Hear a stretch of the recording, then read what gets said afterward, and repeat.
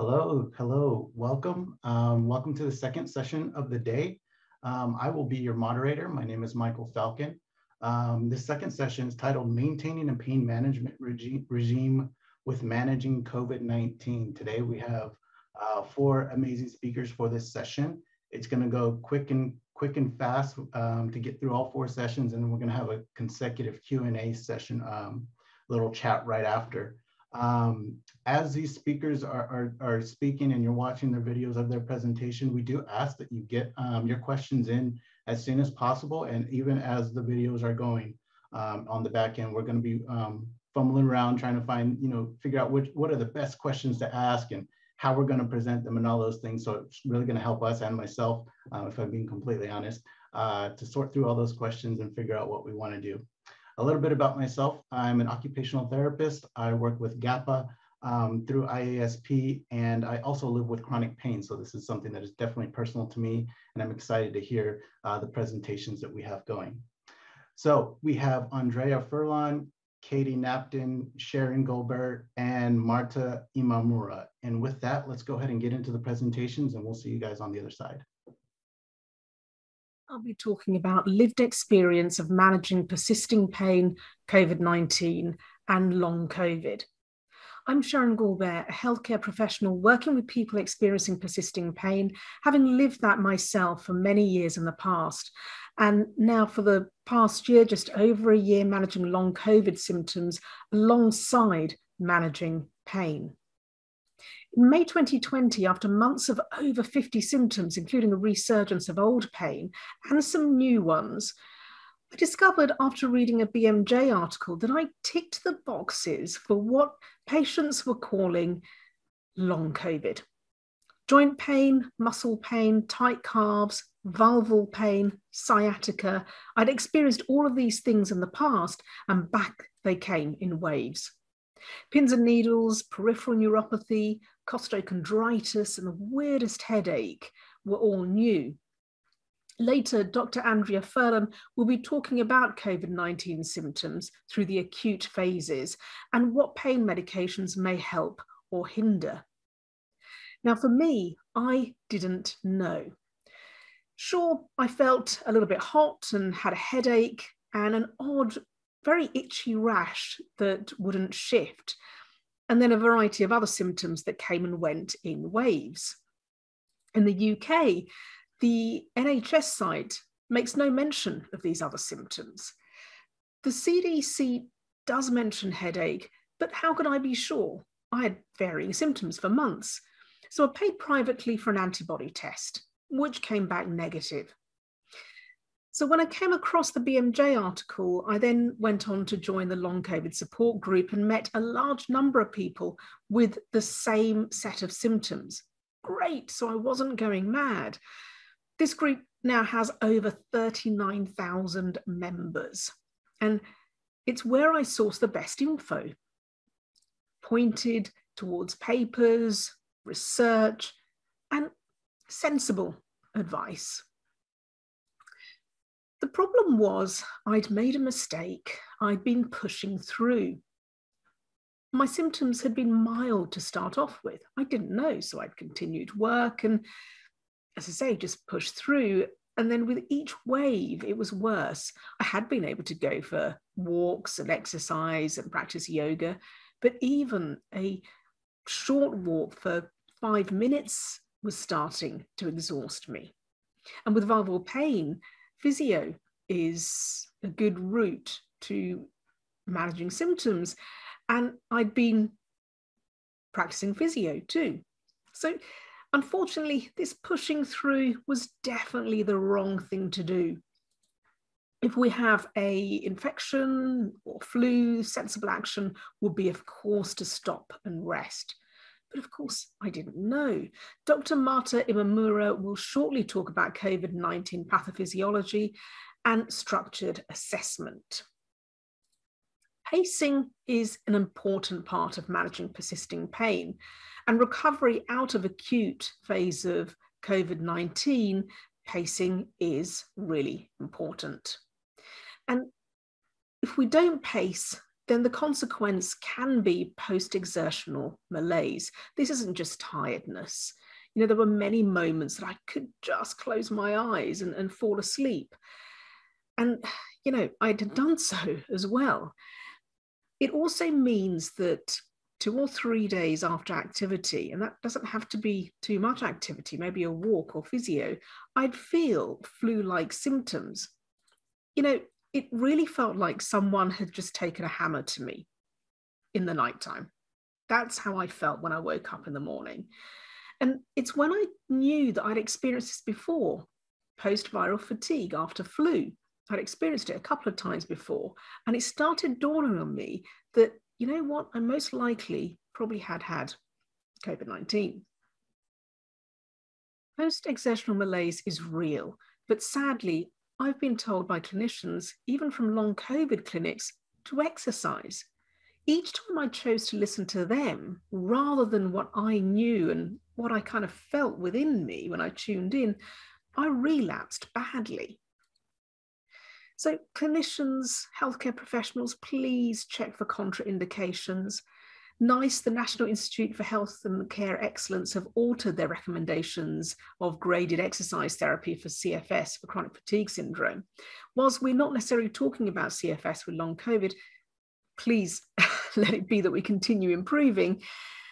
We can do well listening to feedback from patients and patients just tuning into what might be right for you. Again, clinicians, healthcare professionals can do well by consulting with colleagues. My GP, primary care physician, was upfront about not being knowledgeable about long COVID. He decided to check in with me weekly at first just to see, and also mainly what I might have learned from the long COVID group. There is still a gap in knowledge. Please show patients that you're interested. Katie Knapton will be talking more about post exertional malaise, and pacing in a short while. And listen to feedback from patients. Patients are the experts here, so do listen to their experience. I had a couple of lovely paramedics who took me to A&E due to tachycardia and other odd symptoms they need to rule out that I was having a stroke. I had a number of tests done, but my symptoms fluctuate. And some hours later, a consultant mentioned in passing anxiety. Now, he only had to take a look at me to notice that I was far from anxious. I just wanted to go home. And anxiety isn't the issue here, and it probably isn't for many people. So don't dismiss people. If you don't have answers, just own up and say you don't know. Talk to your colleagues and find out more.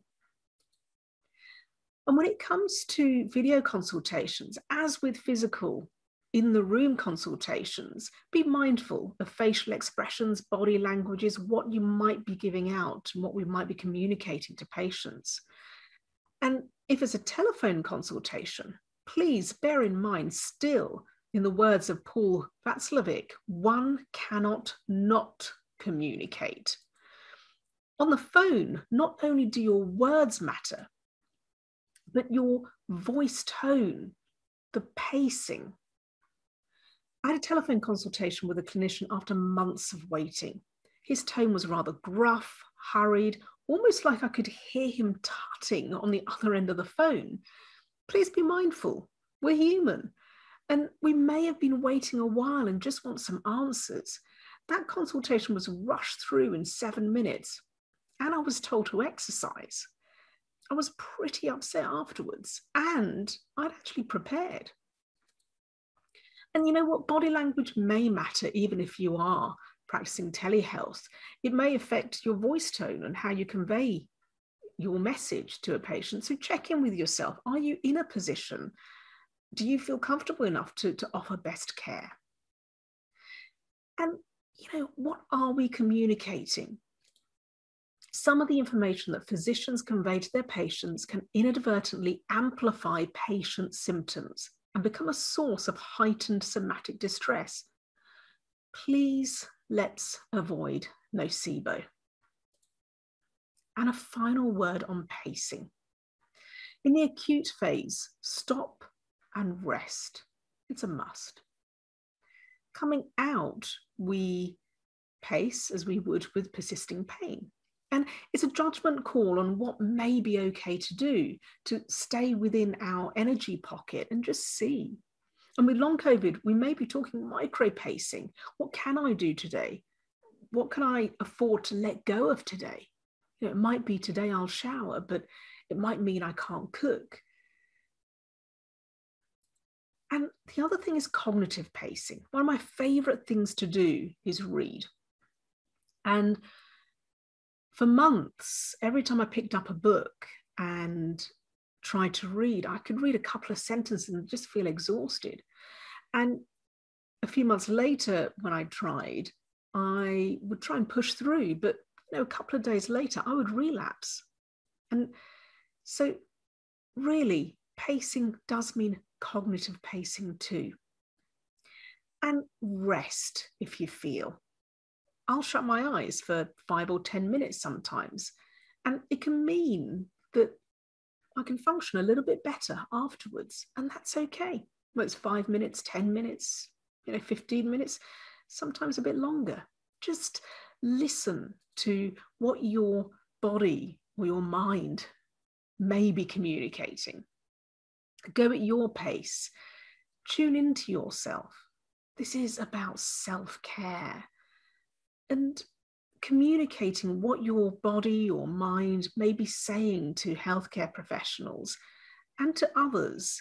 A couple of my symptoms included light and noise sensitivity. I couldn't tolerate other people speaking or even hearing myself speaking.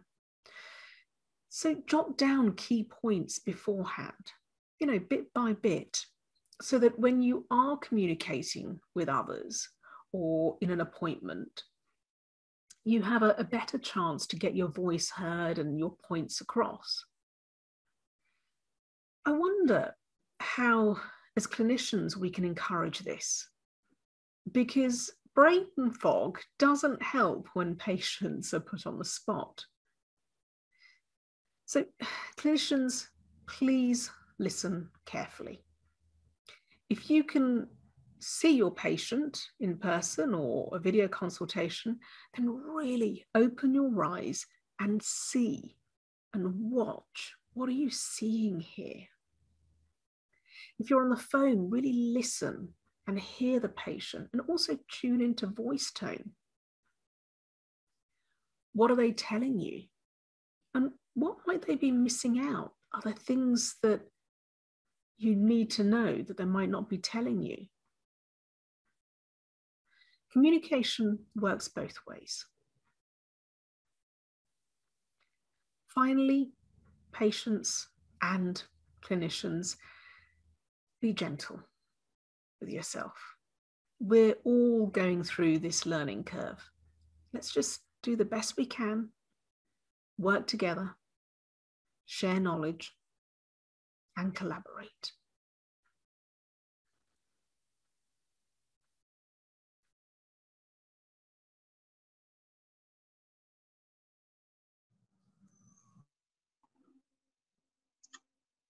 Hi, this webinar will provide an overview on how to maintain a current chronic pain management regimen after a person living with chronic pains diagnosed with COVID-19. Uh, this might involve some discussion on non-prescription medications usage to manage COVID-19 symptoms in conjunction with any prescription medications for chronic pain, how to assess symptoms and self-manage COVID-19 symptoms for those in the short and long term, and when to see your doctor. My name is Andrea Furlan, and I am from the University of Toronto in Canada, and I'm representing also my hospital, Toronto Rehabilitation Institute, UHN and I'll be talking about maintaining a pain regimen with an acute COVID-19 infection. So I hope that at the end of this presentation, participants will be able to identify situations that are critical for patients to manage chronic pain during an acute viral infection such as COVID-19. Also establish some principles and criteria for urgent treatment of pain during an acute episode of COVID-19 and be aware of risks of opioid treatment during an acute episode of COVID-19. In terms of conflict of interest, the only two things that I thought was uh, relevant to mention is that I have a monetized YouTube channel And I also receive unrestricted educational grants to maintain an online opioid self-assessment program from the Canadian Generic Pharmaceutical Association. Well, I brought some cases. These are not real patients and not real pictures, but uh, these are based on the experiences of our pain clinic over the last uh, year during the pandemic. So I kind of brought some cases together that were common uh, with our population of chronic pain. So uh, the first fake patient is Nancy. She's a 34 year old female. She has fibromyalgia, migraines, endometriosis, hypermobility. She has sleep problems, depressive mood. She works from home. She does not smoke, does not use any alcohol, no cannabis, and she bikes 25 kilometers every week. For medications, she uses duloxetine, 120 milligrams a day. She is using tramadol, 200 milligrams a day, and gabapentin, 300 milligrams a night. She got COVID. She had symptoms of uh, shortness of breath, chest pain, and abdominal pain. So the questions that uh, we had when she approached us was, um, can she continue taking her chronic pain medication, which includes opioid tramadol, with the possibility of respiratory depression, and it could lower her oxygen saturation? Can she take additional medication for pain caused by the COVID, like uh, anti-inflammatories, acetaminophen, anti-cough medication, anti-nausea medication?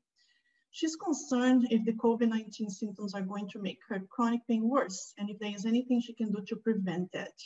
She heard about the long haulers and she's scared of her chronic pain becoming worse. So this is what uh, our answers of our team was. Well, uh, she should be she should continue taking her chronic pain medication, especially because uh, if she stops taking the tramadol, she might go on withdrawals and that could precipitate her going through an emergency department, and we don't want her to do that. Unless if she decides to taper slowly the tramadol, but she, not, she should not cold turkey stop taking tramadol. Can she take any other medication? Yes. Uh, treat COVID-19 as any viral infection. So it could be, what do we do when we have a flu, a cold, we use other medications to treat nausea and headaches and fever. So treat COVID-19 as any other viral infection. So they can take these additional medications. And then she was concerned about, um, uh, yes, there is a chance that uh, some people will become sensitized. There is a, the virus can sensitize the pain system, cause more central sensitization, uh, neuropathic pain, small fiber neuropathies, uh, micro strokes in the brain. So there is a possibility that her chronic pain will become chronic and worse. Um, but uh, we, it's not the majority of people. The majority of people will recover without any sequela. And we don't know anything that we can do to prevent these long-term consequences of COVID-19. The other case was Charlie. He is 45 years old. He has chronic low back pain, diabetes, hypertension, high cholesterol. He works in a restaurant. He smokes 20 cigarettes a day. He does not exercise regularly. He goes for massage, acupuncture, spinal manipulation every week. He doesn't take any medication. Occasionally, he takes acetaminophen or ibuprofen. And he gets uh, some spinal injections every two or three months in a pain clinic. He got COVID and was admitted to hospital for four weeks. And he, he did not need ventilation but he was bedridden because he was so weak. He couldn't even move for four weeks. And, th then there were some questions to the team. So during the hospital admission, if his low back pain gets worse, can he receive the massage, acupuncture, spinal manipulations that he was receiving when he was an outpatient? If his low back pain is getting worse during admission, can he receive opioids? And can he receive spinal injections while he is admitted to the hospital? Because the team that does the injections is right in the hospital. Could they come and do the injections or could he go and receive the spinal injections? So those things were discussed. And of course, uh, for acupuncture massage, the chiropractic manipulation, it really depends on the hospital policies regarding contact with patients who are in isolation. He was in isolation, he was contagious. And if that is allowed, and it's it, it could be helpful as it was helpful for his chronic pain that he was receiving those treatments every week. But you, we need to check with infection control. Um, could he receive opioids? Well, he, he didn't receive any opioids for his chronic back pain before, but it really depends on his lung function, his oxygenation, his cognitive status, and his general health status. If he's stable and oxygenation is adequate, the team could might consider a short-acting opioids for a short period of time. Uh, we know that also opioids may help with shortness of breath uh, in low doses, so that could help both pain and the shortness of breath. Now, could he receive these spinal injections? Could we send him to the uh, interventional pain doctor? Actually, it's in the just the other floor of the hospital. Well, it really depends on how severe his pain is. If his status is stable, if uh, the infection control does not have any issues, with the team coming to his bedroom or, or he going to the interventional uh, procedure. Um, like uh, transferring to another uh, ward of the hospital or even transferring him to another hospital to get the procedure. And we were talking to the interventional pain doctors and we would say avoid any steroid injections because there is association with worse immune response to virus. Um, just so people know, the American Society of Interventional Pain Physicians, they released some guidelines for interventional pain procedures during COVID-19 infections. Uh, not exactly during an acute episode, maybe, but um, more in the chronic pain patients who got COVID. So they have this algorithm. Do we know what is the COVID status of the patient? In this case, we knew that the patient is contagious, that he was in isolation. So if we need, it's better to wait until, until he is out of isolation. But if his chronic pain, low back pain is getting a lot worse, and it was because he was bedridden, then we need to think about some uh, procedures to make him more comfortable at the hospital. The other case is a 70-year-old male, Honey. Uh, his widow, uh, he had postherpetic neuralgia and he had a constant chronic facial pain because his uh, herpes zoster affected his face. He was on pregabalin maximum dose, 600 milligrams a day. He was receiving morphine 75 milligrams a day in divided dose of long-acting opioids. I think he was on 45, 40 in the morning and 35 in the evening. Amitriptyline, 75 milligrams a day. He lives alone. He owns a farm in rural Ontario. His daughter, only daughter he has, lives in Australia, so the other side of the world no close family around, and he has some friends from his community church. Well, he got COVID. He went to the hospital, but did not need admission. The problem was he has a lot of fever, cough, weakness, loss of appetite. We were concerned about sending him home. Uh, is it safe for him to be alone in the house? With all of these medications uh, for pain and also for symptom control of the COVID-19. Is there something that his primary care provider could do to avoid any complication of his chronic pain and the COVID-19 while he, because he was left alone at home in the middle of a rural area in a farm? Does he need to take any medication for fever and which medication should that be? Is it necessary to switch his morphine to another opioid because morphine impairs immune response? So the first one, um, we were concerned that because of his uh, cough and infection and fever, he's 70 years old, he could be delirious, he could be confused. Uh, with all of these medications, he could overdose even if he has an naloxone kit at home, all of our patients who are on opioids here in Ontario, we tell them to get a naloxone kit at home, which is the antidote for overdose. But even if he has one, there's nobody there to administer if he overdoses on the morphine. So he could make errors on his pain medication and that could be fatal. So we advocated for his family doctor, primary care provider, to admit him to a hospice or rehabilitation bed uh, that was not an option. We thought about um, asking a caregiver to come and spend time uh, with him at least a few hours a day so he would not need to be alone uh, in the house, in the farm, and someone that could observe uh, his uh, if he's uh, loss of consciences and especially at night. He could take medications for his fever because if he has a fever, then chances would be that he would be more delirious. So we recommended him to take acetaminophen and to measure his temperature on a regular basis.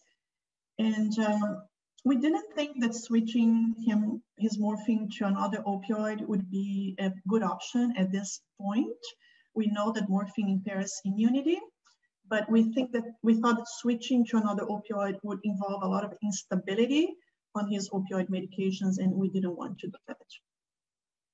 We know that uh, there, is, there are some articles showing that um, people on opioids, uh, especially codeine, morphine, fentanyl, and methadone, there is immune response um, uh, delayed, and that could impair his uh, uh, antiviral uh, response to the COVID medication, to the COVID infection. The fourth case is Patty. she's a 68-year-old female living with her husband and her son. She has severe spinal stenosis. She was not a good candidate for surgery, so she's treating conservatively. She has osteoarthritis of the hips, hands, shoulders, cervical spine, severe osteoporosis. She has PTSD because her daughter committed suicide at home and she was the one who found her daughter dead. Uh, so she's doing psychotherapy once a week for this PTSD, post-traumatic stress disorder. She's on a fentanyl patch, 25 micrograms an hour. She changes every three days, and the other medication she takes is only blood pressure medication. She's very active at home. She's volunteering at a local community center. She walks daily. She got COVID-19, no severe symptoms. She did not even need to go to the hospital. She's at home. But because she's having low grade fever, she's sweating a lot because of the fever. Every time her fever goes down, she sweats a lot.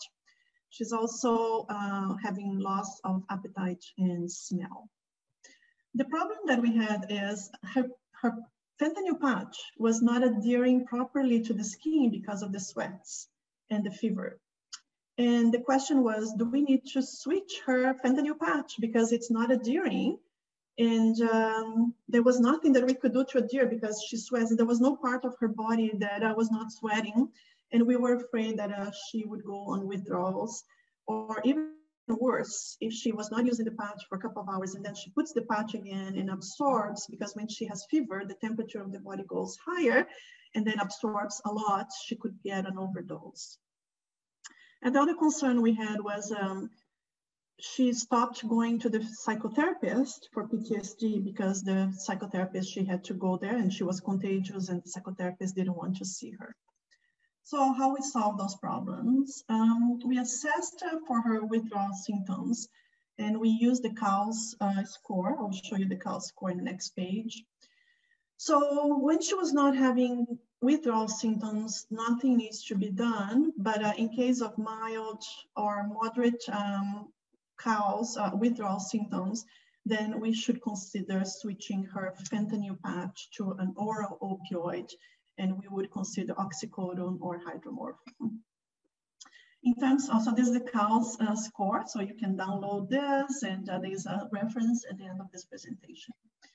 And uh, in terms of her mental health counseling, uh, that she was going to the psychologist to talk to the psychologist. We arranged for her to have telephone or video conference um, psychotherapy, so she didn't need to stop. Uh, it was really helpful for her mood, sleep, and anxiety, and instead of uh, having the face-to-face -face sessions. So the American Medical Association recommends some um, changes in policies and especially authorizing patients to get opioids. Uh, you know, we are living in the middle of pandemic and sending prescriptions directly to the pharmacy, especially related to opioids, uh, waiving the limits and restrictions on, on, how much opioids people can get, uh, requirements for um, in-person counseling to get the refuse of opioids, also enhancing a lot of home delivery medication options, reducing barriers to vital pain medications, and, and doing everything possible to get uh, telephone consults or video conference uh, with patients in this time of pandemic. And uh, that psychologist was very accommodating and helpful and uh, did that for our patient. So here are some principles for managing chronic pain in the context of COVID-19. how severe is the pain? Um, is it an acute, a new pain problem? Uh, what are the pain medications the patient is using? More attention should be given if there are opioids and risks of withdrawals or risks of overdose. What can be done to keep patients at home, avoid overcrowding emergency departments and avoid admission to hospital? What can be done uh, for patients with chronic pain if they are admitted to hospitals? Is there an acute pain service that can be consulted and make the patients more comfortable while they are in hospital for their COVID recovery? Uh, also, don't forget that there are comorbidities, like mental health comorbidities could be very much aggravated uh, during the isolation and quarantine periods. Uh, is there any social situation, like caregivers available? Who is there to provide support to our patients? Another question we get a lot is, um, you know, people with chronic pain, they are afraid to go to hospital. They're afraid of uh, a new pain um, problem when should they really seek medical care? I don't mean going to emergency, but I mean even calling your pain doctor and say, you know, I have a new pain. I, you know, I'm, I'm, I'm, i have chronic pain, but now I'm having something that is different. When should they call or go to emergency? If they are an oncologic patient, if there is a new episode of acute herpes zoster or an acute trigeminal neuralgia or an acute complex regional pain syndrome, or patients who have neuromodulators or implantable pumps, patients with severe osteoporosis because they may have a acute fracture, or when they need refuse for medications, especially, especially opioids, benzos, antidepressants, anticonvulsants, and cannabinoids, because those medications, we don't want them to stop and wait until the pandemic is finished for them to restart the treatment. Also, if they have an acute episode of a headache, without any previous history of headaches or if they're having chest pain. So who is at higher risk of more severe chronic COVID-19 disease? We know that having chronic pain does not put you or any patient at a higher severe COVID-19 disease. Unless uh, if there is any other of these comorbidities here, we know that older adults, people with other comorbidities like lung diseases, hypertension, diabetes, kidney, liver, dementia, stroke, or any person who is immune compromised or people with obesity. So we know that people who are receiving opioids, codeine, methadone, fentanyl, or methadone, they are at high risk of immune uh, compromise, so they should be careful uh, if they get a COVID-19 infection. What kind of medical care is available to patients with chronic pain? Uh, we should aim at telephone consultations, even talking to the pharmacist and nurse, social worker, telemedicines. Avoid going to the walk-in clinics or primary care providers because there might be issues of available PPE. You may need to call the clinic first to see if it's okay for you to go and visit the clinic. And in severe cases, go to emergency department. So that's the end of my presentation. I hope that we were able to reach those uh, goals uh, that I set at the beginning of my presentation. These are the references of the study that I mentioned, and thank you very much. Hi, my name is Katie Knapton. I'm a physiotherapist, and I'm really honoured and delighted to be part of this webinar today. So my disclosures, I run my own private practice based here in Sussex in the UK. I've also set up an online clinic and that's called PhysioFast Online. I collaborate with Pete Moore and if you haven't heard of Pete Moore then please look him up. He has written a pain toolkit and this is to help people manage, self-manage um, persistent pain. And together with Pete, I have written a free self-help guide for long COVID sufferers. So there's the reference there. Please do send us any information, feedback, resources that you'd like added or changed if you see any typos, because we're always adapting it and changing it as, as more things come to light. And, and this is really to try and help people who haven't got underlying medical issues um, to self-manage a little bit more freely. Um, and we're not earning any, I've got no financial interest in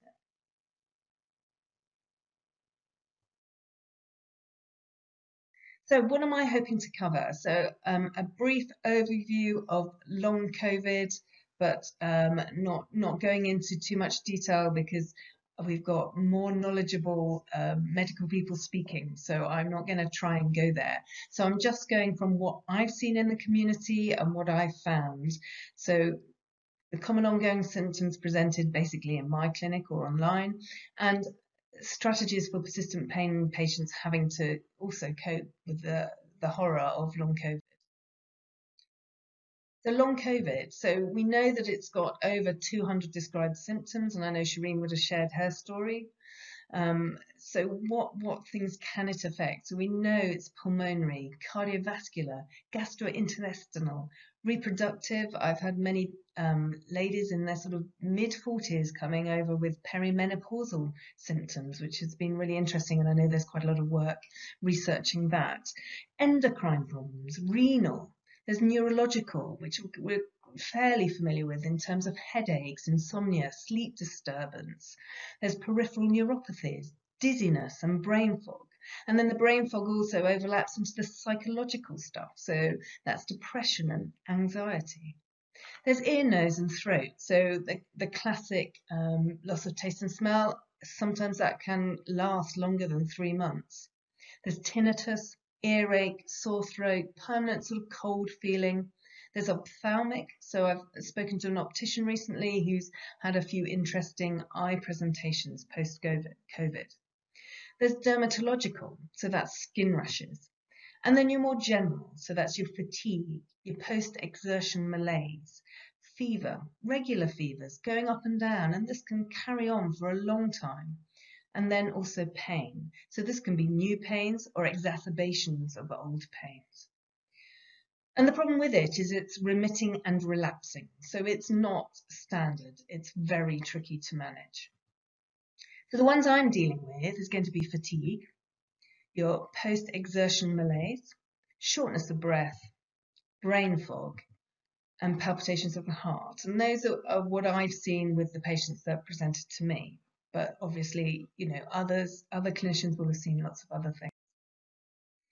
So long COVID and persistent pain strategies, we need to, to think about how do we go about managing or helping patients manage this. So I guess some of it is the accepting and hopefully if they've um, attending clinic, then they've recognized that there is an issue beyond what their norm is. Um, so accepting that they've got a long COVID diagnosis because they may never have had a COVID test, they potentially never been into to hospital, and also checking that they've got the team. So we always recommend that anyone with persistent pain has a supportive network around them because it's really hard to manage. Um, with long COVID on top of this, you're really going to need a reliable and understanding team. Pacing. It will be a huge time to review pacing. You're going to have to really organize and monitor symptoms. You're going to have to prioritize and plan. So this is part of your pacing, pacing organization. Review goals. So it's looking at what's essential, what needs to be done, what can wait, and monitoring that. It's really hard not to want to push on through, especially if you've got to a stage that you were managing everything. You need to advise patients to be nice to themselves. And with that, they need to set time aside to relax. Now, this relaxing is variable from individual to individual. individual sorry. Um, they might want to set up some meditation you, they might want to be advised on some nice music or television, whatever works for them. But they need to be nice to themselves and to relax. Movement. Now, this isn't particularly controversial. We need to move a little bit, but we're not talking about mass physical activity. And again, this is going to vary depending on how they are feeling. But we would encourage, even if they're feeling quite bedbound, just going through some very gentle exercises. And that may just be some gentle arm movements, some gentle breathing work. Having a setback plan. So this is comes back round to the team. You may that have a setback plan that includes perhaps taking some more pain relief, and that might be under your GP. Um, but it's working out how do you manage when, especially with the remitting and relapsing pattern, how are you going to manage this? Teamwork. So this is vital. So we've already touched on this and it's just checking the teamwork. This can be made up of friends, family, physios, other therapists, GPs, hospital if needed, but you need a team behind you. And this is one of the reasons because of the fatigue, the severe exhaustion. And I know persistent pain patients, this is not totally unfamiliar, but it can be totally overpowering with long COVID. And it's not really relieved by rest. And basically, it's a bit of a car crash. So it's a total stop. So it's not to be ignored. And anyone presenting with fatigue needs to be really looked after.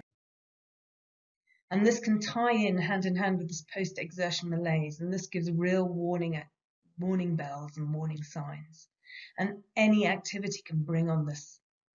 So this can be just thinking too much, having to do a sort of high thought process activity, whatever you find hard. Some people find even just doing a jigsaw can, can set this off. And the effect can be immediate or it can be 24 to 72 hours post exertion, which is what makes it tricky to manage. And we as clinicians really want people to avoid this as, as, as much as possible because it takes a long time to recover from. And I mean, when we say long time, this can be days, weeks, and even months. And it is a setback because the problem with it is it tends to take you way back. So it's not recommended. And this has been sort of a bit of controversy because initially the guidelines talked about um, doing graded exercise therapy, so GET, um, and it's now moved away from that because of this post-exertion malaise. We do not push people into an exercise program at all. So this takes us back into pacing. So I like this. Um, this is the ME Association's description of pacing, and I think this works well and is not unfamiliar to people with persistent pain. Its activities, both physical and mental, should be carried out in small, manageable chunks, with a period of rest or relaxation in between. It's important to stop any form of activity before an exacerbation of fatigue or other symptoms occur. So this is finding your energy envelope. So everything that's contained you can do. But if you go out of that envelope, you're going too far. So it's avoiding that boom and bust. Now, brain fog. Now, this is an interesting one. This can be both physiological and psychological. Um, we think that some of it may be due to inflammatory factors, which have affected the brain and lead to some cognitive impairments. But as therapists or clinicians dealing with these patients, we also need to think of, you know, what are the things that perhaps we can discuss with the patients to help. And one of those things will be sleep. We need to monitor also whether we think they're suffering from any depression, and therefore, it, again, it may be a time to involve the GP. Anxiety and stress we know can make this worse. And decreased physical activity. So again, it's that play off with what, what works and what doesn't. And then it Potentially could be side effects of any medication that they might have had to be put on.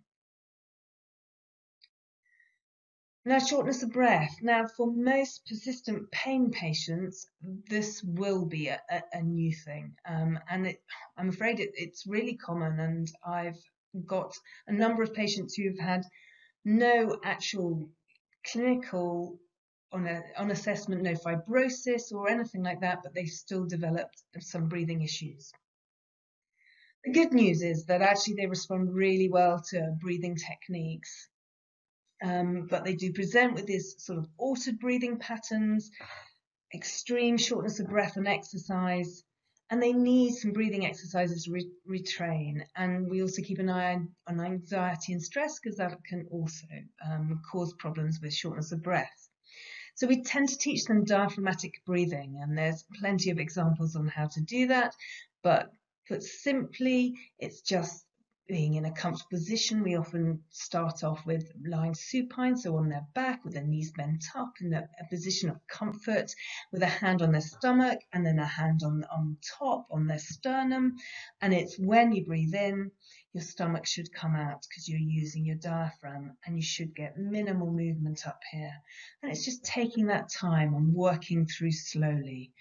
But again, there's, there's, there'll be plenty of references for that. But breathing techniques work well and, and they need them. So I know a respiratory therapist who um, she's suffered from long COVID and she herself had to retrain her breathing, even though she was very familiar with it. So do bear that in mind. It, it, but it can make a difference, but it is a new thing. The only other thing I wanted to add to that is if you're noticing that there's an increase in shortness of breath or there's a problem, it may be that they need medical help and, and reassessment in terms of it, if there's medical intervention required. So what needs to be in place for these people? So I think it's vital to have a support network, and I think I've highlighted that probably enough we need to, as clinicians, monitor any significant changes. So if there's any significant deterioration, so it's just checking that you know when to call for help. Do they need a heart rate or an uh, saturation monitors? So some people really benefit from having a heart rate monitor. And um, and if they do, it's usually the easiest way is they just take it from their heart rate at rest and they only stay within a comfort zone of 10 to 20 percent rise above that. And um, but some people find it's a problem and they become hypervigilant. And with the O2 monitor, sometimes if you're concerned about someone that they are desaturating too quickly, so they're dropping down, then it may be worth them occasionally doing that. And they sometimes find that desaturating even just with mental work rather than just physical sleep, nutrition, lifestyle. So those are things that maybe that you need to refer on to others or certainly need a review and a discussion. Advising them the right online materials. So checking that they're using proper information and information that they understand. And so that's sometimes videos, sometimes printed stuff. And we also encourage them to get involved with some peer group forums. These can be helpful. There, are, you know, a number of them out there. Friends and family, check that they understand what's going on. So quite often do like a group session with the patient and, and perhaps their closest carer, um, just to go through exactly what's going on and, and try and explain and make it easier. So what are my take home tips? So this quite clearly needs to be patient centered. I, I really don't think I need to sort of spell that out too much, but it is such an individual thing, just as persistent pain is. But long COVID just has such a myriad of presentations, it's incredibly difficult. Call on medical help when indicated. So what I've been discussing potentially is, is usually patients who haven't needed any medical intervention and haven't got any medical underlying causes, but that doesn't mean that they don't have it. Check support in place. So that's the team. Acceptance.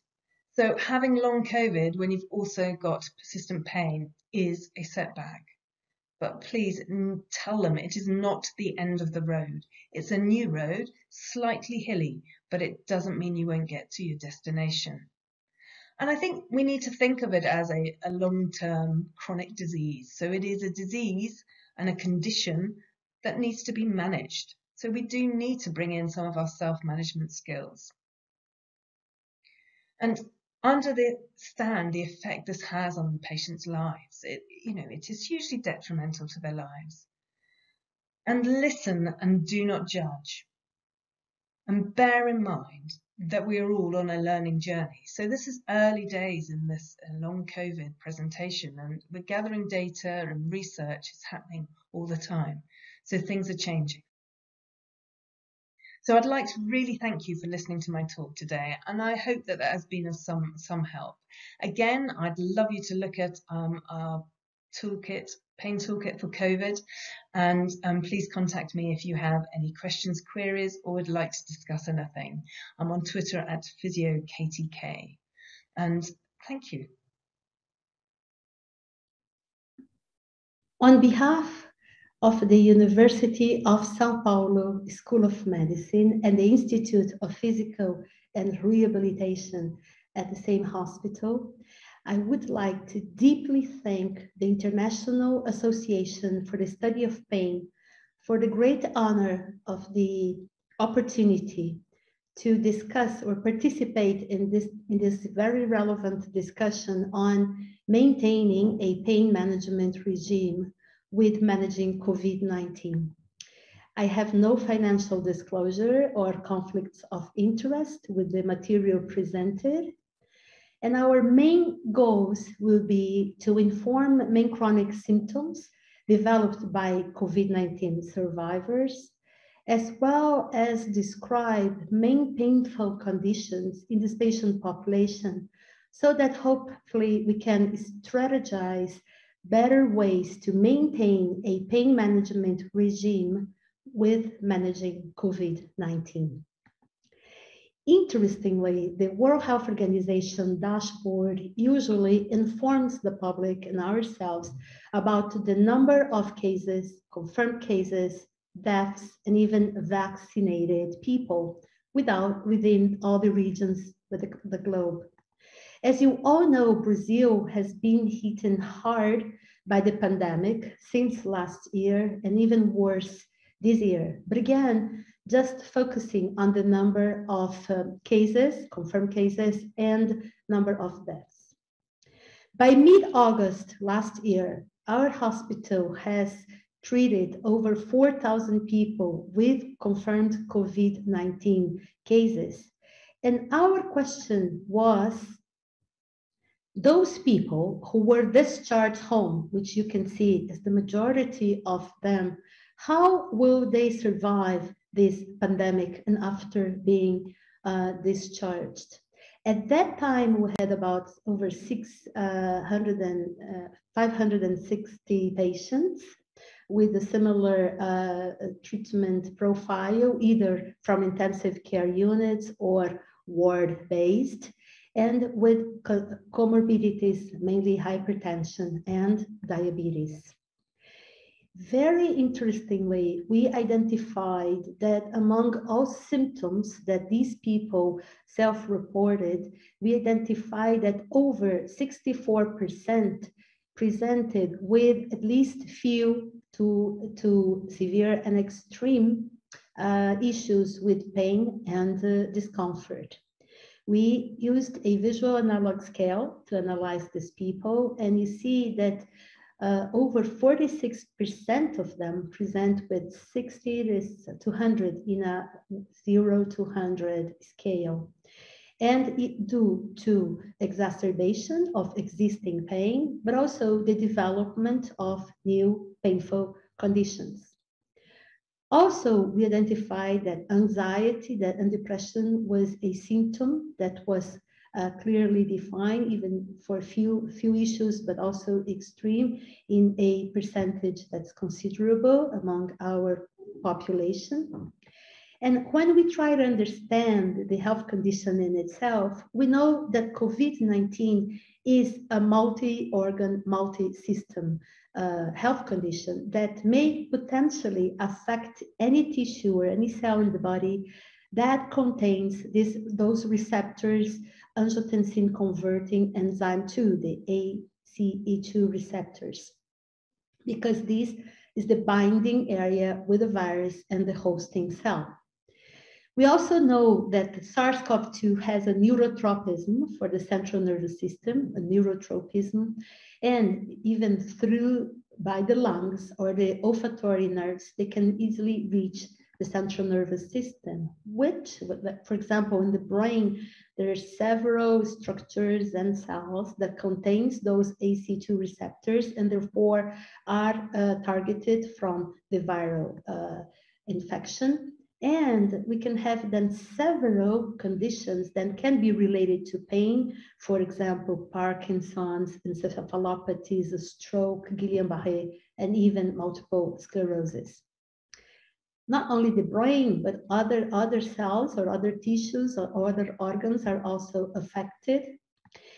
And sometimes we focus a lot on the effects of the virus on, on those different tissues. So for example, as stressed earlier, this neuroimmune response uh, to the infection, the neurotropism, the, the several uh, painful neurological complications. But let us, let us remember that uh, more severely cases occur in people preferentially in the older population with some kind of comorbidity. And due to the treatment, for example, in our cohort, more uh, people also uh, on the intensive care unit and also using sometimes medications, even in the context of a clinical trial. So our most co common comorbidities, like in the literature, hypertension and diabetes, but this post-intensive care syndrome, which is characterized by critical illness, polyneuropathy, myopathy, neuropathic pain, uh, people who are in, under prolonged ventilation and immobility, with specifically in COVID-19 patients with this repeated proning, which can account for newly developed brachial plexopathy, joint subluxation, muscle pain, uh, derived from the presence in an intensive care unit. And so these newly developed pain conditions, for example, plus the risk of procedural pain in patients who are due to mechanical ventilation, usually under sedation and cannot complain uh, pain and, and then have their proper management at that time.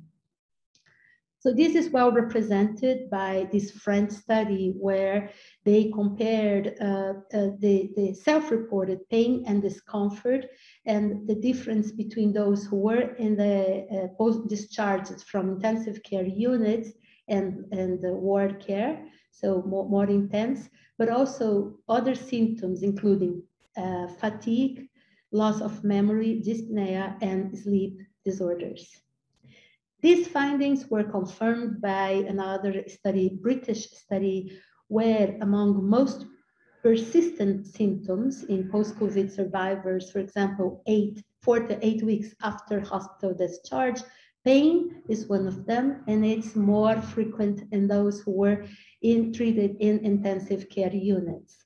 But let, let's not forget that again, fatigue, the post-stress, uh, traumatic stress syndrome, uh, but also anxiety, depression, concentration problems are also common in this patient population.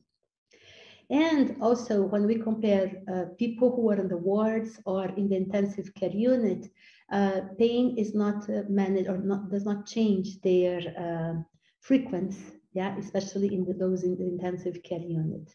For example, in this big cohort with over 1,700 patients from the Wuhan area, from China, they, they show a low uh, prevalence of uh, uh self-reported pain, for example, 27%, but most of their patients are were treated in, uh, in ward, not in intensive care units, but also with these complaints of muscle weakness, sleep disturbances, and anxiety and depression. But the profile of pain is quite similar throughout uh, our findings, but also in the published papers already, which means the majority with pain, joint pain, uh, chest pain, myalgia, and headache. When we compare those people with pain and to a healthy volunteer in the same area at the same time, we see a significant difference in this, these prevalences. And again, we know that uh, Italy last year was also a country with high number of cases. We also see similar results, emphasizing then again the prevalence of joint and muscle pain, chest pain, and headache. And another Italian study demonstrating that uh, three to four months after hospital discharge, yes, the, the, the, the, prevalence of these symptoms decreased. So for example, joint pain, myalgia, however, is still present, uh, present over uh, four months after hospital discharge. This is also found in a French study. The main component that we should remember is that these people with, let's say, for example, with the pre-existing pain condition, if not properly managed and the dorsal horn of the spinal cord continue to receive those bombardment of nociceptive stimuli, will uh, produce uh, consequently uh, a greater involvement of the peripheral and central nervous system, as we all, all know, uh, augmenting or increasing the area or the representation of that pain. So therefore indicating that proper management uh, in a timely base would be very important to better address in an optimized way these people. And the challenge that we also have is because physical examination will show which areas to target, but maybe this is compromised due to social distancing. I always like to highlight and uh, deeply thank Professor Lars Rasmussen for bringing to the literature this, this concept that for a same damage in the structure, in the anatomical structure, you can have a myriad of symptoms just time-wise uh, that are, have uh, different treatment strategies. For example, uh, in the first case, in the very localized pain, but when it spreads to a higher levels at the spinal cord or the brain levels. And this concept is very important because some uh, uh, strategies that are commonly given in guidelines, if we don't take this concept into account, we will be giving patients treatments that we know uh, are, uh, let's say, independent uh, predictors for low response if you have, for example, low pressure thresholds.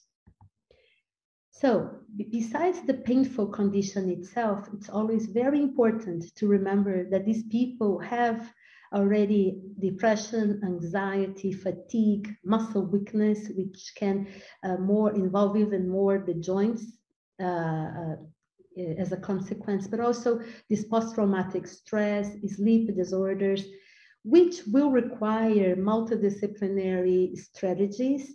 And more than ever, I think these chronic people will need a not only the adequate control of, of pain, but this will necessarily involve at least a full assessment of the psychological uh, issues uh, also the deconditioning or the fatigue, but also the exercise and also the sleep. So we need to assess, then to better uh, promote the strategies. For multidisciplinary programs, it's very important the active participation of uh, patients. However, as mentioned earlier, there is a deficit in memory, in attention and concentration. The speed of mental processing can be decreased. So this is also a target area that we should take into account when creating our treatment uh, protocols to manage these people which would definitely include a full assessment and a uh, so that we can do management. All of this requires the call for action. And hopefully the IASP can be a catalyst for action in terms of increasing collective action, identifying mid and long-term impact of COVID-19 pandemic for people with pain, I have focused myself on our assessment on survivors from hospital treatment, but we have those who were not treated, those who were asymptomatic during acute phase, those who were not infected but are in a social distancing environment.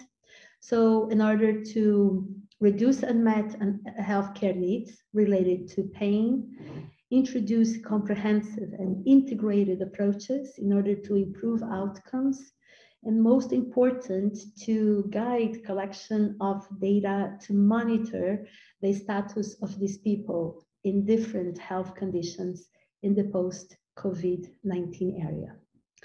With this, I thank you very much, all of you, for your kind attention and are here for answering all the questions that can emerge. Thank you. Hello, everyone. Um, I am back. I am Michael uh, your moderator for this session, and I am now joined by our four presenters who are with us live today. Um, first, thank you all very much. I, am I'm grateful and I'm, I'm kind of excited that I get to moderate this session because they were all so, so good. And I think they intertwined very well. Um, the OT nerd in me is very excited to get into conversation and questions for all of y'all. Um, we have a few questions to go around. Um, and I'm thinking we'll probably end a little bit early, uh, which means I will exert my moderator privileges and ask some of my own nerdy questions myself. So we'll get to that in a bit. But first, I think we'll start with um, Andrea. I feel like this might be directed towards you. Um, and this is a question from Shahid.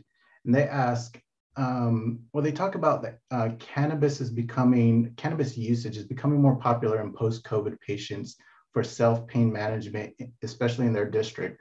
Um, do you have any comments towards that? Okay, thank you. Um, cannabis has uh, been uh, legalized in Canada for anyone to use and to buy in 2018. And we had a medical marijuana program since 2001. Um, so it's very popular here in Canada. People can use for a variety of symptoms.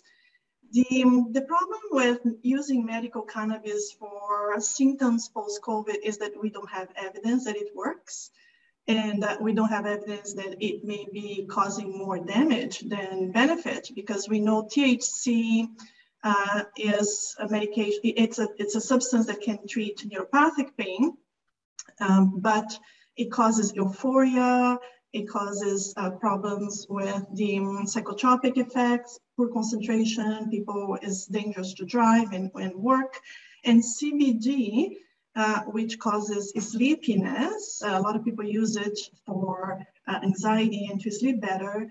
Uh, we don't know if this is what these people need, but I know a lot of people self-medicate with them, uh, both THC, CBD, or one of them. Uh, and um, I usually don't recommend smoked uh, versions because of the lung damage, but if they want to use oral forms, I'm okay with that as long as they don't take too high doses. Right, right. Sounds like it would be something as well that just uh, naturally is going to be from patient to patient, client to client. You would have to yes. you know, establish a plan with that regardless, right? Yes. Okay. Um, does anybody else want to contribute or add to that? Yes, yes Michael. Yes, and also if we if we evaluate the profile of these people, uh, not the majority will fill in the criteria of neuropathic pain. I think this in our in our cohort we saw less than ten percent, maybe about seven to eight percent.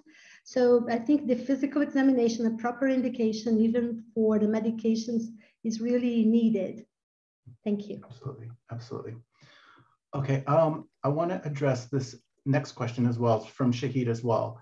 Um, and they're talking about um, specific to, to their region um, in the post-COVID population, uh, malaise is uh, before starting work is more common and gradually started settling down with the work as, as they proceeded. What are some of the causes of that or what is your sort of impression of, of that phenomena that, that Shahid is seeing?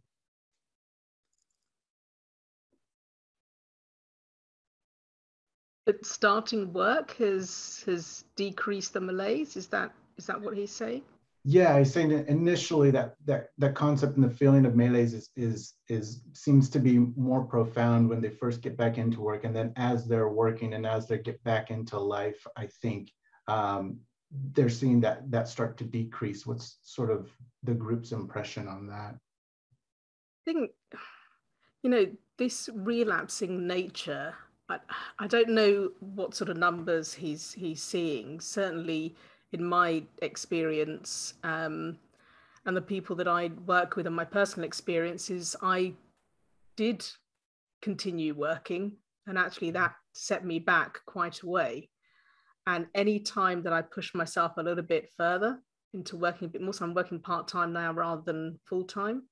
Um, I do have setbacks but it's a bit more complicated than just going back to work. There could be other factors involved. What else is going on in that person's day and in their life? Um, so I'm not sure, Katie. Well, I mean, all I'd say that maybe these people have a better way of scheduling. So it may be that they're monitoring their sleep a bit better because they know they've got work. So what you sometimes find, isn't it, is that you struggle to get any sort of normality. So maybe for some, but I'm the same as you, Sharon, and it's not something I'm that familiar with. But there are some people that because it makes them adapt a little bit, they have a set time they go to bed, a set time that they wake up or at least start activities, that can be beneficial sometimes. I guess the other thing to mention is values, right? So, hmm. again, what we see with people with persistent pain is if we get back to living life by our values, we can see some improvement. So, could it be that in those people? The OT says, absolutely, yes, that is the answer. um, okay, this next question, um, uh, before I have y'all answer, I think there, there's probably a point of clarification that probably needs to be made. Um, and, and, I'll go ahead and set that. But Chris asked the question, um, a clinician in the previous session, and this was our physio, uh, Dr. Baptiste, Dr. Baptiste, Dr. Baptiste, duh, sorry, um, talked about uh, research and studies that, that um, I think a colleague had, had engaged in revolved around um, high level athletes engaging in four to six hours of intense physical training and then the rest of their time was was spent during this this time of, of sedentary activities. Um, you know like hours of watching tv or just laying around. Now he emphasized that this was detrimental and they needed to be coached to engage in regular movement throughout the day now chris is curious how is this different than um, the concept that many of y'all were discussing about pacing and ensuring that you get adequate rest um, now, I want to I want to clarify that that that research is is is not talking about people with with pain and talking about people with um, you know recovering from COVID. So very different situations.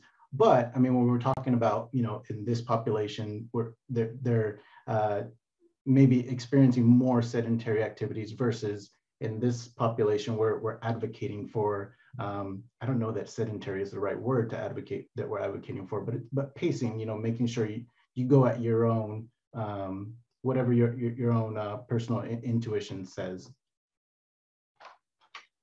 So uh, yeah, I'm not familiar with that study, um, so I couldn't really comment on that. But what we do know is that pushing through doesn't work and is hugely detrimental to this cohort of patients. And that's with or without persistent pain. We will not recommend it. I don't think it will ever be recommended again. For some people, that's not saying that there are some caveats. There's some people that can do that, but it would never be a blanket recommendation. It's very individual. Um, with the post-exertional malaise, you know, you just don't want to bring that on because that's a huge setback for these people. And so you've got to respect that. So you've got to get people to understand pacing and the pacing is their own pacing, not someone else's. I mean, and we tend to talk about, when I talk about pacing in the clinic, is you do 50% of what you think you can do. You don't go just to the line, you go way back from the line, and then you can always build from that. But the problem is, if you do this boom and bust, we know with this sort of presentation, it doesn't work in general. There's always exceptions to every rule, but in general, we wouldn't push it. But you know, the activity levels of someone who's normally doing loads and loads of sport and things, it will be different from a housewife. So, you know, there's a huge myriad between. It's so important to to um, to make the plan uh, unique to each individual patient. And it, isn't it, I mean, just the concept of pacing in and of itself is so subjective. And so it has to be important to define pacing with that individual patient, probably at each each patient. Is, is that is that a fair Absolutely. Assumption? Yeah, no, it's individual, isn't it? It's, a, yeah. I mean, that's the whole thing. That this whole thing is such an individual experience, as we know, um, and, and that's the same with the pain experience. Right, yeah, exactly, and that's what I was going to get to. It goes back to what Sharon was talking about about listening and knowing your patients, right? I mean, there's so much uh, unique and individual perspectives that must be considered when developing a plan or coming up with a with an idea of what pacing might look like for any individual patient. And that pacing might look different from week to week, from month to month. True. You know, one week you may be able to do a little bit more, and then you know, four weeks later the the picture looks different.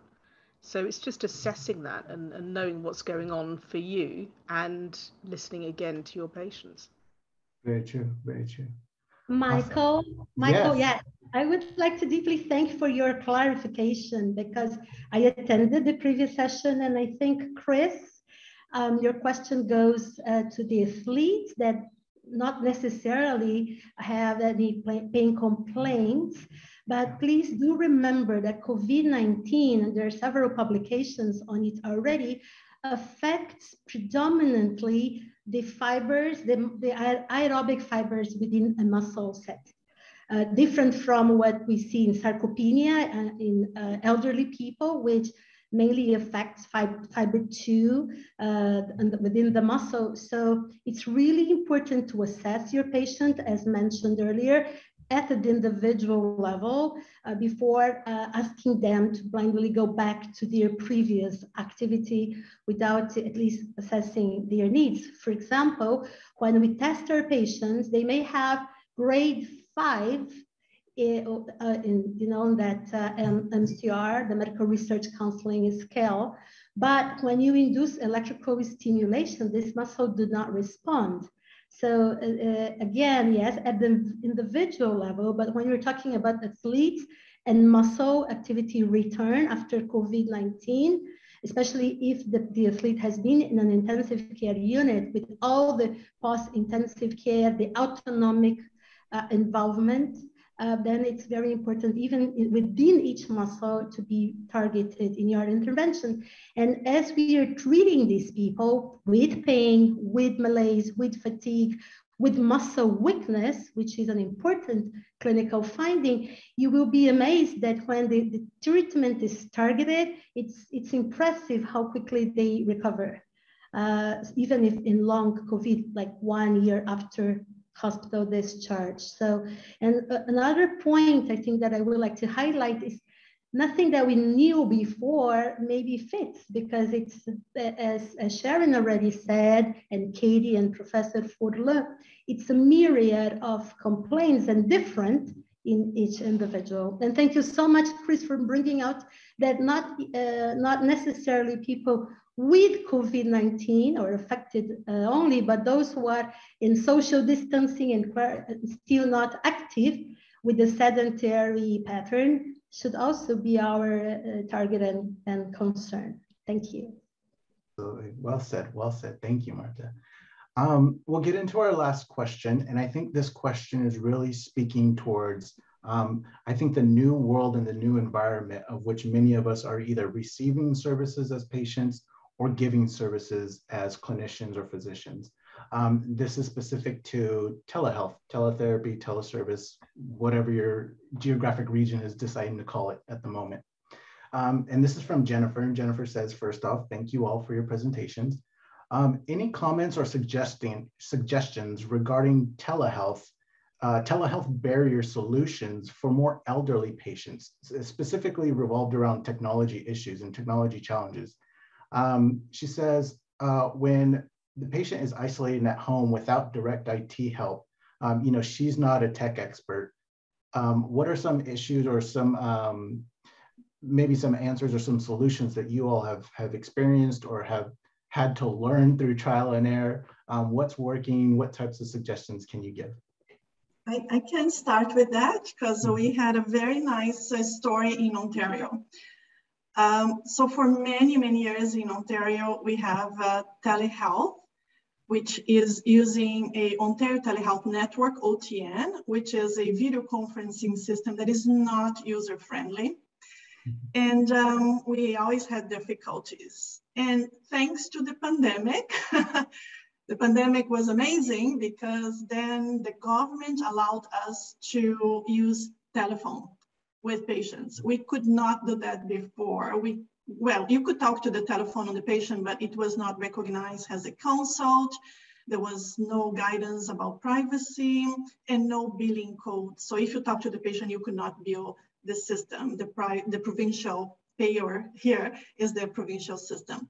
So thanks to the pandemic, we are now able to talk to our patients via telephone and bill the government for that, uh, how many minutes we spoke. And that was amazing, simple telephone. I think even the elderly, most elderly people um, appreciate and they have a phone that's not technologically, they don't need to be technologically savvy. And our patients loved that because hmm And, and we are thinking, we are pledging our government to keep that those billing codes after the pandemic finishes because everybody lost. Our consults are much more efficient now. I, I had patients that they had to, you know, travel 45 minutes to come to downtown Toronto to see me. So I, I thought they, you know, just to discuss one question. And they stayed half an hour in front of me chatting, chatting, chatting. And we talked about the weather, we talked about this and that. Now with telephone, we are much more efficient. Five, seven minutes, I'm done. And I ask them, do you have more questions for today? No, no, doctor, I have to go wash my dishes and do something. So I can talk to many more patients because we are doing telephone consults. So that would be my recommendation for you. I know she is in South Africa, Jennifer, and uh, maybe you can start incorporating that. Awesome, awesome. It, Jennifer, yes. Yeah. yeah, Michael. Yes, maybe I, I also provide the input for the uh, uh, middle high income country, Brazil, even though we are in Sao Paulo, major city, telehealth was a major asset during pandemic. So I would say that uh, pandemic, the COVID-19 pandemic was an accelerator for the process because, for example, even in medicine, the, legislation, as Professor Andrea already mentioned in terms of uh, uh, the, the, safety, you cannot just use a phone because it's a consultation. So, so and some of, because we work in a multidisciplinary, coordinated, ultra integrated team. So for example, for some of our professionals, I highlighted the social workers, even psychologists. From the legislation's perspective in Brazil, it was really hard to implement telehealth.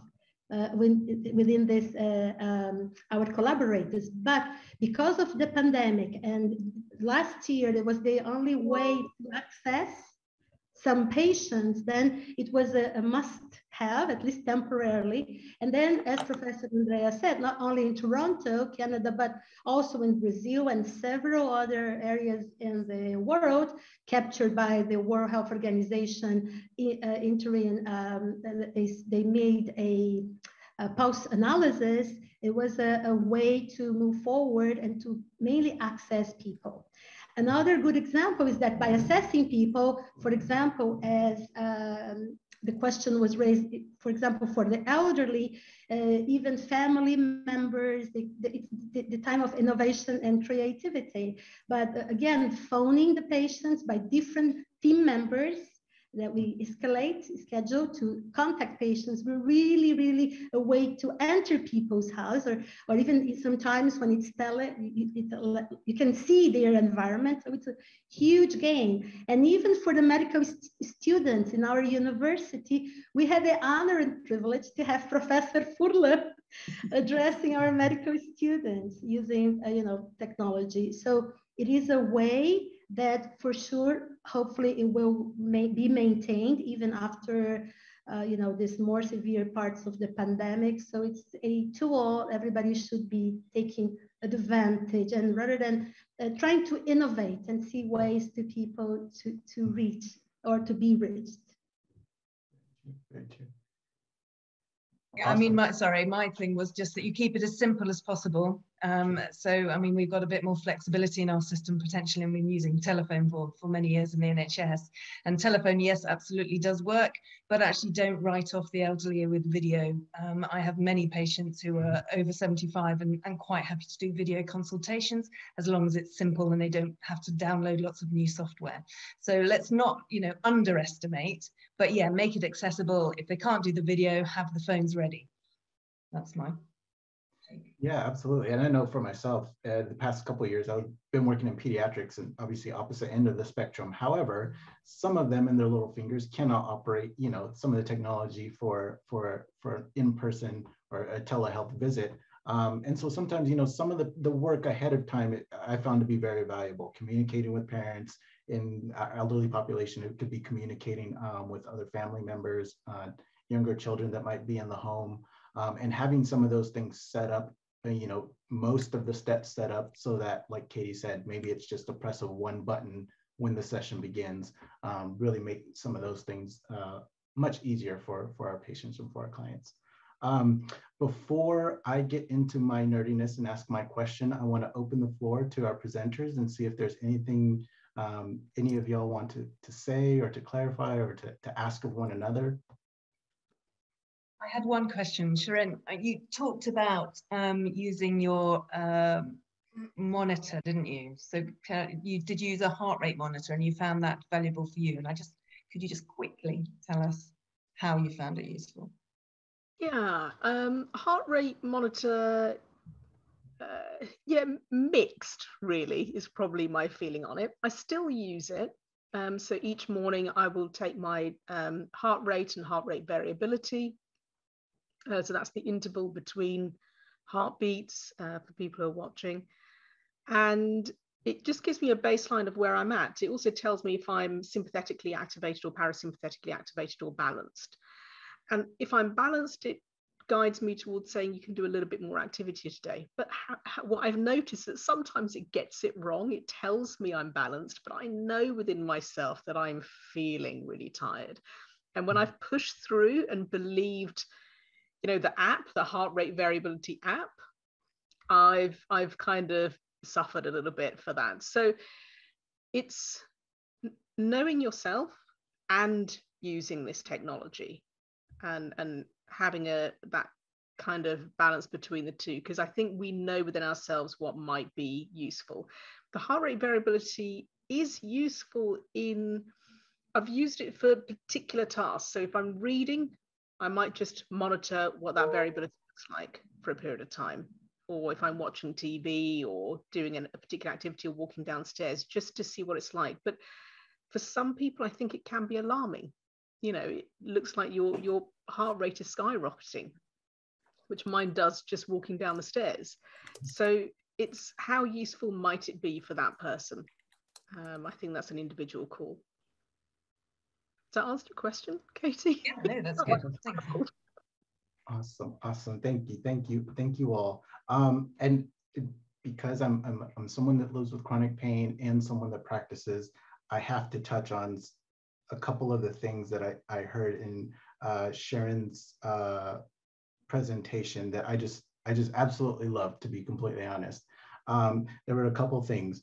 You started off by saying that it's important to learn from your patients and to listen to your patients because they are the experts And regardless of pain, they are the experts of what they are experiencing, right? And, and I absolutely love that. And later on, you talked about how you were told to exercise. And I don't know if that set, set very well for you. But, and then you went on to say later on, and I picked up on this, hoping, you know, in the, in a way that uh, you would hope that a clinician would listen and hear what you're saying. You said, but I love to read. I love books like those two pieces in and of itself you know yes you know we're trying to get movement and and exercise or or whatever that might mean but for you it was like exercise wasn't what was meaningful to you if we could have built an activity that would uh, allow you to get some type of meaningful movement built around books and built around reading i feel like that would have suited you and your therapy plan much more appropriate than you know whatever the the stereotypical, oh yeah, go do, you know, a mile of walking or whatever may have been. Is that fair to say? I think that's the same with um, anything, isn't it? Whether it's with you know persistent pain or anyone who's healthy, please do something that's meaningful, meaningful for you, um, rather than you know a printed out sheet that gives you the same exercises as the next person. Um, what's meaningful to me, yeah, is reading, um, is yoga. Um, every time I tried try to do some just gentle yoga or stretching, I was set back and realized, okay, I can't do that at the moment. I've got to accept that. What can I do? Very little was the answer to that to start off with, but you know, hey, I started with some breathing exercises, got some enjoyment out of that, just looking out of the window and seeing the blue sky or right. You know, well, and don't forget, rest is an, an exercise. A rest is a treatment. Yeah, yes. absolutely. absolutely absolutely. Awesome, awesome. Thank you. Thank you all very much. I, I, think your presentations were phenomenal. I think the conversations that we were able to have in such a short period of time, I think is way more worth than it, than than the value that it's that it that we could capture in this small short time.